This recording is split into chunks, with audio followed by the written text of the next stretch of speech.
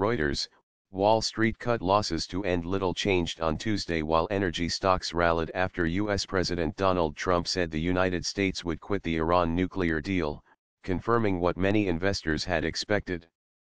In a televised speech, Trump said the United States would withdraw from a 2015 international agreement designed to deny Tehran the ability to build nuclear weapons, and also reinstate sanctions on Iran. The S&P Energy Sector SPNY erased earlier losses to end the day up 0.78% as oil prices CLC1 LCOC1 reduced earlier declines on bets that the sanctions would disrupt global crude supplies.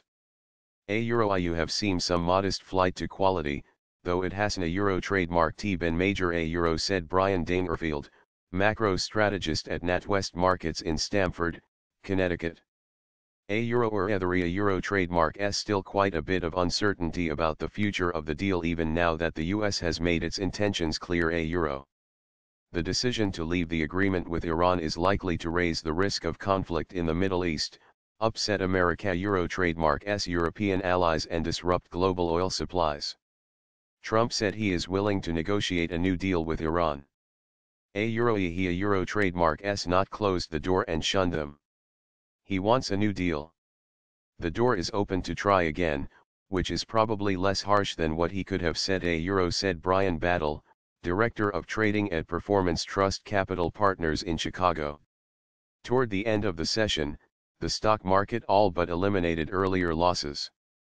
The Dow Jones Industrial Average. DJI ended 0.01% higher at 24,360.21, while the S&P 500. SPX ended down 0.03% to 2,671.92. The Nasdaq Composite. IXIC added 0.02% to 7,266.90. S&P Industrials. Splrc, financials.spsy and technology indexes.splrct rose, while utilities.splrcu and telecom services.splrcl were the deepest decliners. Comcast, CMCSAO, fell 5.56% after Reuters reported the cable operator is preparing to make an all-cash offer for media assets that 21st Century Fox, FOXAO, has agreed to sell to Disney, DISN, for $52 billion. After the bell, Disney edged up 0.5% after it reported its quarterly results that were powered by the hit superhero movie A Euro or a Black Panther A Euro.